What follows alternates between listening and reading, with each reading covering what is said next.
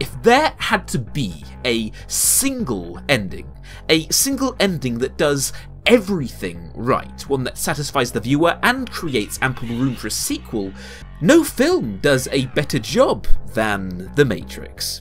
I'm Henry Sharpe, and welcome to How to Write a Great Ending. Now, in order to realise why The Matrix has such a powerful ending, we need to first realise what makes for a weak ending, and in order to do that, we need to know rule number one. The shorter the amount of time between the climax and the end, the better. An incredibly common killer for many stories is when the ending overstays its welcome, and it's such a common problem the issue has earned its own name, that being ending fatigue. Ending fatigue is essentially what happens when the story doesn't wrap up efficiently, and takes just too much time for the movie to reach the credits once the main plot has been resolved. If the amount of time between the climax and the credits is over 10 minutes, that film probably suffers from ending fatigue. Now, there are countless films that suffer from this issue, but as a random example, let's look at Casino Royale. Now, Casino Royale, for its merits, is a great film, and is arguably one of the best Bond films to have ever been made. However, for the last 40 minutes of runtime, the structure really becomes quite a bit of a mess. So the main plot is this, Bond has to beat the villain in a game of poker, and for the first act of the film it is clearly established that that is the end goal. So at the 1 hour and 40 minute mark, Bond wins the game, and then 14 minutes later, the villain is killed. Then Bond is recovering from his injuries with a nice view with his romantic love interest by his side. At this point, all of the plot threads have been resolved, and this would be a great time to end the movie. Except then a whole new plot is created where his love interest betrays him, and then he has to go and hunt her down. This quite simply is sloppy story structure. The viewer should have a correct sense as to when the movie is about to end, and when you build that expectation of an ending, only to reveal that the film is far from over, it confuses the viewer, and thusly hinders the viewing experience. In the end, the time between the resolution of the main plotline and the credits was 40 minutes, which is about 30 minutes longer than it needed to be. Now this all comes back to The Matrix, because in my opinion, this film has a perfect ending. But how exactly do the Wachowskis create this perfect ending? Well, firstly, it follows rule number one really quite effectively. We have the climactic scene where Neo beats Smith, there is a short minute long epilogue with Neo on the phone, and then the credits roll. As a general rule, the moment your climax is over, you are on the clock, where every second that ticks by, the viewer will gradually lose more and more interest, and as the age old saying goes, leave them wanting more. If you end your film quickly and on a powerful emotional note, with them fresh off the excitement of the climax, it will leave the viewer wanting more, which in turn will make them come out of the cinema with a more overall positive experience. I think many people greatly underestimate the importance of the final taste that is left in the viewer's mouth as they leave the theatre, because if you nail that ending, then they will look back on the whole experience with much more positive eyes and with much more negative ones if you don't. Now, The Matrix does something else with its ending. The final note of the film is Neo talking to the machines about what he is about to do next, and how he plans to unplug everyone from the Matrix. This is again a good move by the Wachowskis, and ultimately, it leads into rule 2 of writing a great ending.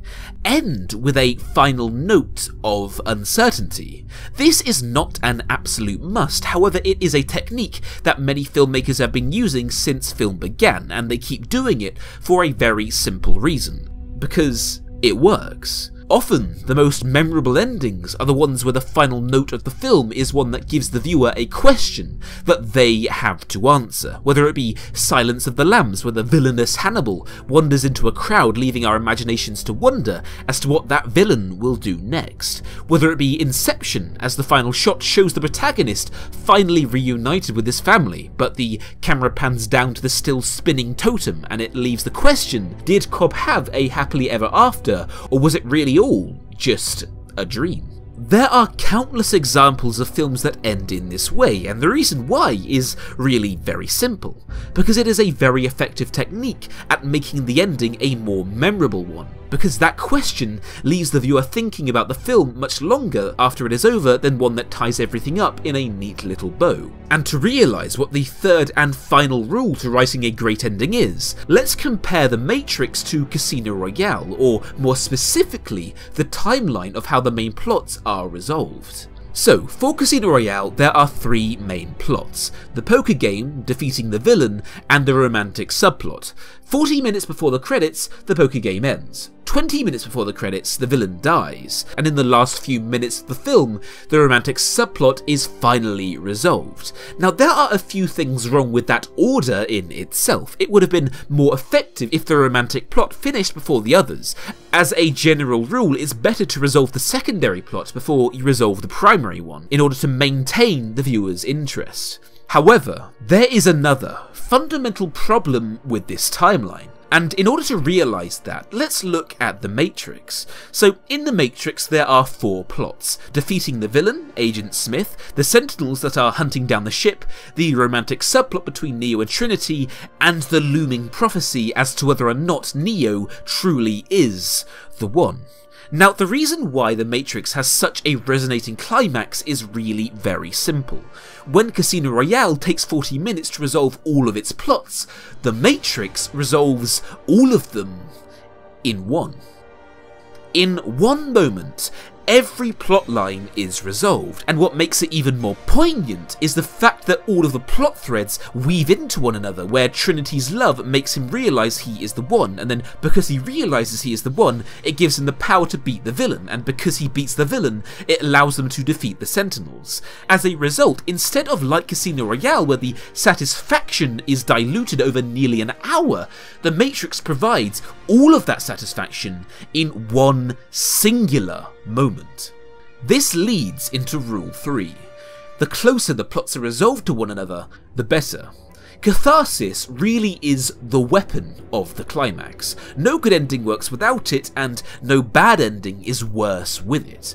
And I think a very interesting example of an ending that has no plot resolution but is still a great ending is The Lord of the Rings, The Fellowship of the Ring.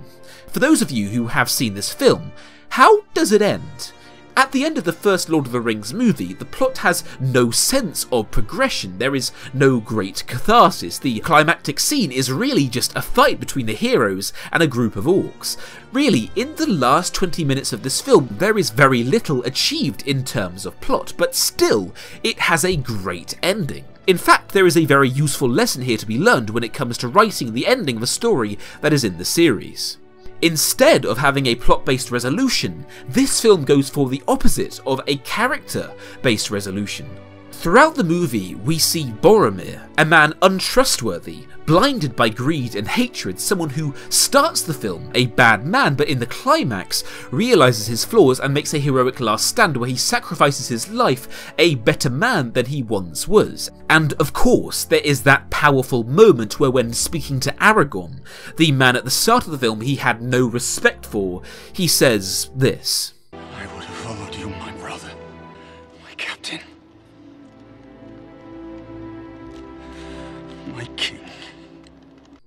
The film leaves us with the main plot unresolved, however, because it gives us this complete character arc where really the whole climax has nothing to do with the main plot but is rather centered around this one character as he dies a hero, this ending works because it gives us that satisfying resolution that really you just cannot create a good ending without.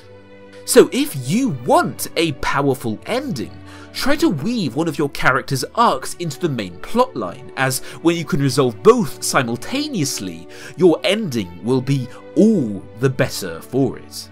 And before we go, I want to tell you guys that recently I've been using Squarespace for my personal website and can proudly say that Squarespace, the sponsor of today's video, is one of the best places you can go to build your site. When you use Squarespace, they do all the hard work for you. There is no complex coding or confusing mechanics, only a series of simple and easy to use templates and a generally easy to understand interface. They have an award-winning customer service team that's available 24-7 and if you use my link, squarespace.com forward slash closer look, you will receive a free trial and 10% off your first purchase. If you're an artist or a musician or a small business owner, their service is convenient for constructing your site and there is no other service I would recommend more than Squarespace. Again, if you use my link, squarespace.com forward slash closer look, you will get a free trial and 10% off your first purchase, so please be sure to click that link in the description while the offer still stands. Anyway, thanks for watching, and I'll see you guys next time on The Closer Look.